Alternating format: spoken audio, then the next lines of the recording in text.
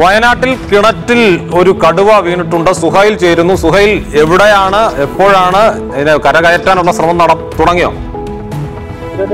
മൂവാനക്കുഴി കാക്കനാട് ശ്രീനാഥിന്റെ വീട്ടിലെ കിണറിലാണ് കടുവ ഉള്ളത്. രാവിലെ മോട്ടർ ഇട്ടു അപ്പം വെള്ളം കയറിയില്ല എന്തുകൊണ്ടാന്ന് വന്ന് പരിശോധിച്ച് നോക്കുമ്പോഴാണ് കിണറിന്റെ അകത്ത് കടുവയെ കണ്ടത് വീട്ടുകാരൊക്കെ പരിഭ്രാന്തരായി. തൊട്ടു പിന്നാലെ വനംവകുപ്പിനെ അറിയിച്ചു. വനംവകുപ്പിന്റെ ആൾക്കാർ അങ്ങോട്ടേക്ക് വരുന്നു. താരതമ്യേന ആഴം ഉള്ള കിണറിലാണ് കടുവ വീണത്.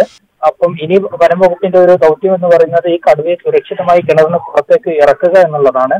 അതിന് മയക്കോടി ടീം വരണം. കടുവയെ കൃത്യമായി അസസ് ചെയ്യണം. അതിനുള്ള പെർമിഷൻ ഇറങ്ങണം. വയനാട്ടിൽ സ്പെഷ്യൽ സി സി എഫ് ഉള്ളത് കൊണ്ട് തന്നെ ആ ഒരു നടപടിക്രമങ്ങൾക്ക് ഒരൽപ്പം വേഗമുണ്ടാവുമെന്നാണ് നമ്മൾ പ്രതീക്ഷിക്കുന്നത്. പക്ഷേ പ്രധാനപ്പെട്ട കാര്യം എങ്ങനെ ഈ ഒരു സ്ഥലത്തേക്ക് കടുവ വന്നു എന്നുള്ളതും ഒരു ചോദ്യമാണ്.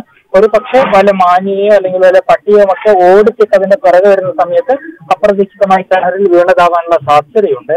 സാധാരണ പുലിയൊക്കെ കിണറ്റിൽ വീണ വാർത്തകൾ നമ്മൾ കേൾക്കാറുണ്ട്. കാട്ടുപന്നികൾ വീണ വാർത്തകൾ കേൾക്കാറുണ്ട്.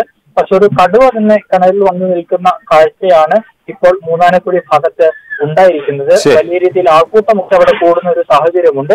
എന്തായാലും വെറ്റിനറി ടീം വൈകാതെ സ്ഥലത്തേക്ക് എത്തും.